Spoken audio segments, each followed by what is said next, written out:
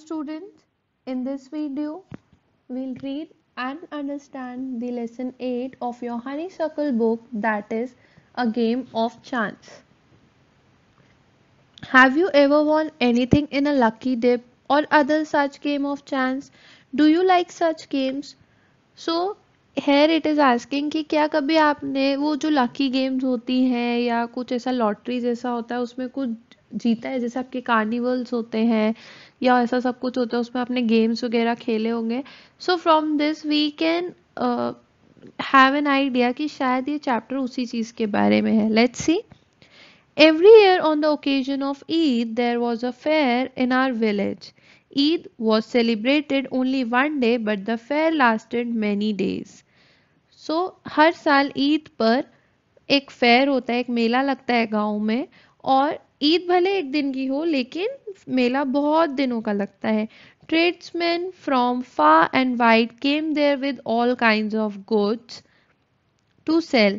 You could buy anything from a small pin to a big buffalo.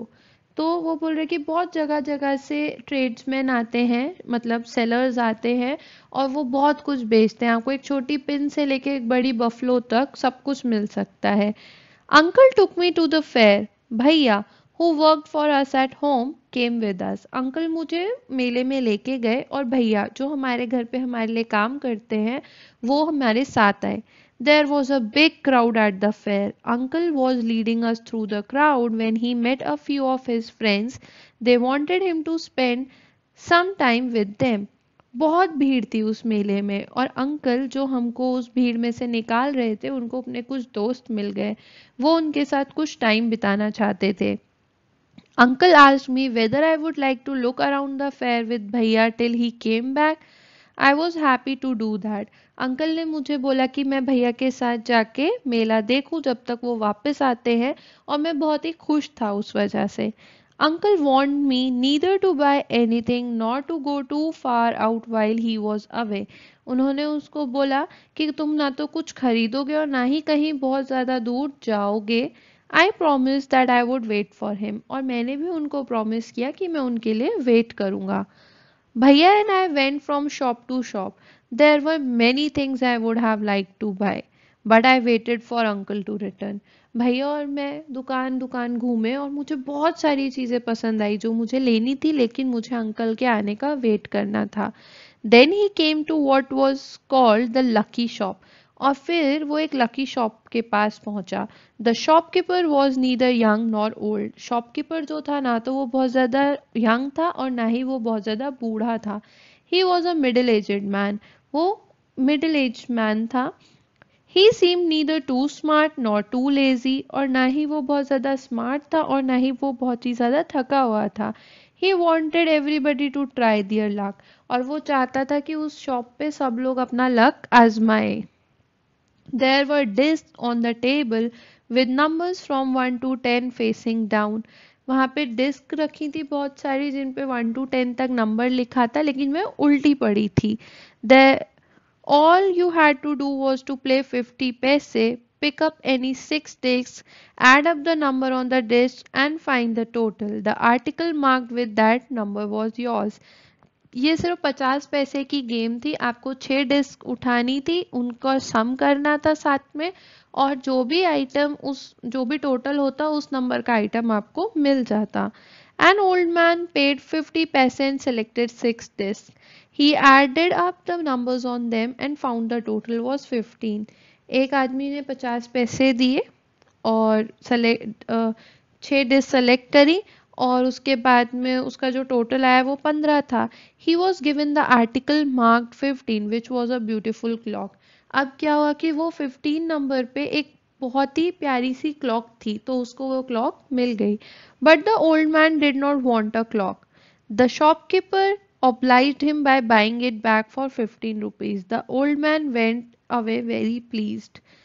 अब क्या हुआ कि जो ओल्ड मैन था, उसको वो क्लॉक नहीं चाहिए थी। तो शॉपकीपर ने उसको पंद्रह रुपए दिए और वो क्लॉक वापस ले ली और जो ओल्ड मैन था, वो बहुत खुशी खुशी चला गया। Then a boy a little older than I tried his luck अब मुझसे थोड़ा सा ही बड़ा एक लड़का आया, उसने अपना लक ट्राई करा। He got a comb worth through worth twenty five पैसे उसको पच्चीस पैसे की एक कंघी मिली। The shopkeeper looked neither happy nor sad he bought the comb comb from the boy for twenty five पैसे the boy tried his luck again अब क्या हुआ कि जो शॉपकीपर था, वो ना तो बहुत ज़्यादा खुश था और ना ही वो बहुत ज़्यादा उदास था। उसने पच्चीस पैसे में उससे वो कोम खरीद ली और उसके बाद उस लड़के ने दोबारा अपना लक आजमाया। He now got a fountain pen worth three rupees Then he tried a third time and got a wrist watch worth twenty rupees twenty five अब क्या हुआ कि उसने जब दो दूसरी बार आजमाया तो उसको फाउंटेन पेन मिला थ्री रुपीज़ का और जब तीसरी बार आजमाया तो उसको ट्वेंटी फाइव रुपीज़ की wrist watch milli. When he tried again he got a table lamp worth more than ten rupee अब क्या हुआ कि जैसे उसने दोबारा आजमाया अपना लक तो उसको टेबल लैम्प मिली जिसकी कीमत दस रुपए से ज़्यादा थी। The boy was happy and went away with a smile and a good deal of cash अब क्या हुआ कि जो लड़का था वो बहुत खुश हो गया और वो बहुत ही ज़्यादा खुश होकर वहाँ से चला गया। I wanted to try my luck too I look that भैया. ही इनकरेज मी अब क्या हुआ कि मुझे अपना लक भी आजमाना था, मैंने भैया की तरफ़ देखा और उन्होंने मुझे उस चीज़ को करने के लिए इंकरेज किया।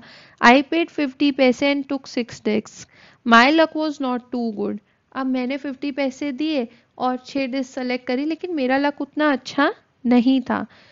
आई गॉट टू पेंसिल्स मुझे दो pencil milli. The shopkeeper bought them from me for twenty five पैसे। उसने शॉपकीपर ने वो मेरे से ट्वेंटी फाइव पैसे में खरीद ली। आई ट्राइड अगेन मैंने दोबारा ट्राई किया। This time I got a bottle of ink मुझे एक इंक बॉटल मिली वो भी बहुत कम पैसे की। The shopkeeper bought that too for twenty five पैसे। शॉपकीपर ने उसको भी पच्चीस पैसे में खरीद लिया। I took a chance for the third time still luck was not with me और मैंने फिर से तीसरी बार ट्राई करा लेकिन लक मेरे साथ नहीं था। I had hopes of winning a big prize and continued to try my luck again and again, paying 50 paise each time. But every time I got a trifle, at last I left with only 25 पैसे again the shopkeeper showed his kindness अब बार बार क्या हो रहा था कि मैं बार बार luck try कर रहा था, हर बार पचास पैसे दिए जा रहा था, लेकिन हर बार मेरे साथ में वही पच्चीस पैसे बचे जा रहे थे, वही पच्चीस पैसे आ रहे थे। अब शॉपकीपर ने मुझे अपनी काइंडनेस अपनी दयालुता दिखाई। He said I could either play once more with twenty five पैसे और settle the account then and there उसने बोला कि आप पच्चीस पैसे से खेलो या फिर आप वहीं पे अपना अकाउंट पूरा कंप्लीट कर दो। और मैंने पच्चीस पैसे दोबारा दिए और खेला, लेकिन वो लास्ट पच्चीस पैसे भी मेरे चले गए। People were looking at me. Some were laughing at my bad luck, but none showed any sympathy. अब हुआ क्या कि लोग वहाँ पे जो खड़े थे देख रहे थे वो मेरी तरफ़ देख के हंस रहे थे मेरा मज़ाक बना रहे थे लेकिन किसी ने मुझे सिंपथी नहीं दिखाई भैया and I went to the place where uncle had left us and waited for him to return भैया और मैं वापस उसी जगह पे चले गए जहाँ अंकल हमें छोड़कर गए थे और उनका वेट किया presently he came he looked at me and said Rashid you look upset what is the matter आप वो आए और उन्होंने मेरी तरफ़ देख के बोला राशिद तुम बहुत अपसेट लग रहे हो, क्या बात है I did not say any I did not say anything. Bhaiya told him what had happened. Uncle was neither angry nor sad. He smiled and patted me. अब क्या हुआ मैंने कुछ नहीं बोला भैया ने उनको सारी बात बताई अंकल ना तो गुस्सा थे और ना ही अपसेट थे उन्होंने बस स्माइल दिया और मेरे पीठ पे थपथपाया। He took me to a shop and bought me a beautiful umbrella biscuits and sweets and some other little gifts then we return home उन्होंने वो मुझे शॉप पे लेके गए। उन्होंने मुझे अम्ब्रेला दिलवाया बिस्किट दिलवाए स्वीट्स दिलवाई, कुछ छोटे मोटे गिफ्ट्स दिलवाए और हम लोग घर वापस आ गए। Back home uncle told me that the lucky shop man had made me a made a fool of me अब जब हम घर वापस आए तो अंकल ने बताया कि जो लकी शॉप वाला आदमी था उसने तुमको बेवकूफ़ बनाया। No uncle I said it was just my bad luck तो उन्होंने बोला कि नहीं अंकल वो तो मेरा ही बैड लक था। No my boy said uncle it was neither good luck nor bad luck उन्होंने बोला नहीं बेटा ना तो वो गुड लक था और ना ही वो बैड लक था। But uncle I said I saw an old man getting a clock and a boy getting two और three costly things You don't know, child, uncle said. They were all friends of the shopkeeper. They were playing tricks to tempt you to try your luck. They wanted your money and they got it. Now forget about it and don't tell anybody of your bad luck or your foolishness. अब उन्होंने बोला कि नहीं ऐसा नहीं है तुम्हें कुछ नहीं पता है वो सब आपस में फ्रेंड्स थे और उन्होंने ऐसा सब ड्रामा किया ताकि तुम टेम्प्ट हो तुम उस गेम को खेलना चाहो और तुम वो तुमसे पैसे ले सके और उन्होंने ऐसा कर लिया। अब ये सब भूल जाओ और किसी को अपने बैड लक या अपनी बेवकूफ़ी के बारे में बताना नहीं। So this is the this is all in the chapter come to the poem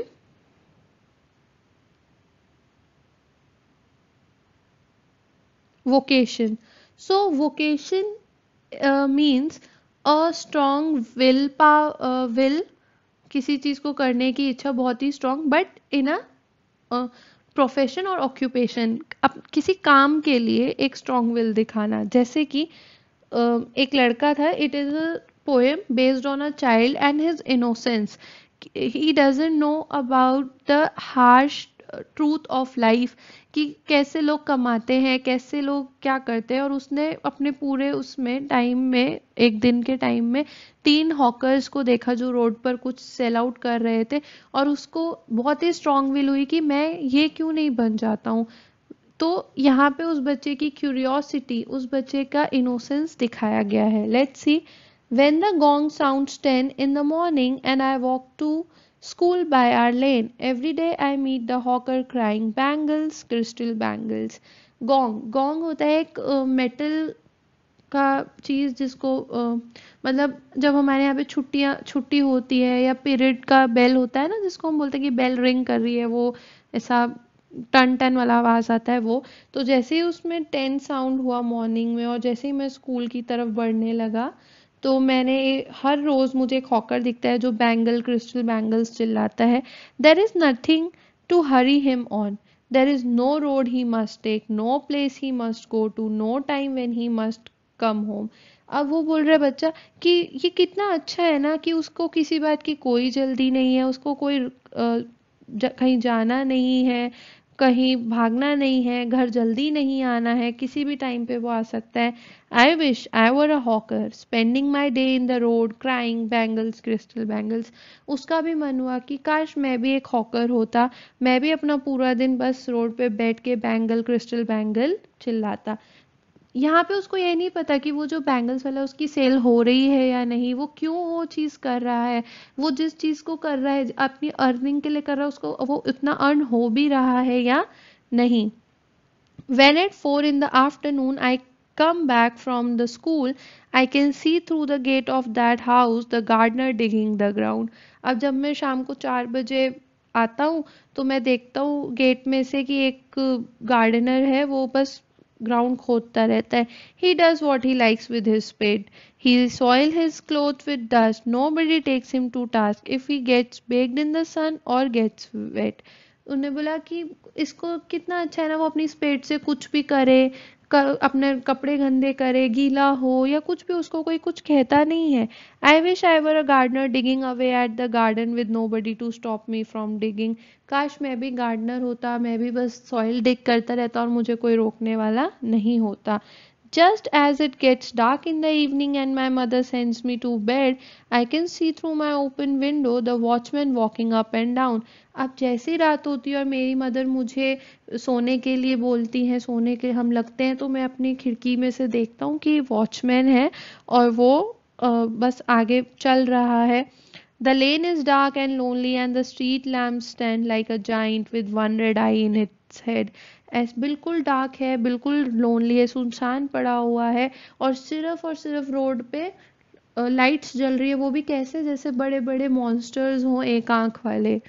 The watchman swings his lantern and walks with his shadow at his side and never once goes to bed in his life बस वो अपनी lantern को अपने साथ लेके चलता उसकी परछाई उसके साथ चलती रहती है उसको कोई बेड पे जाने के लिए नहीं कहता।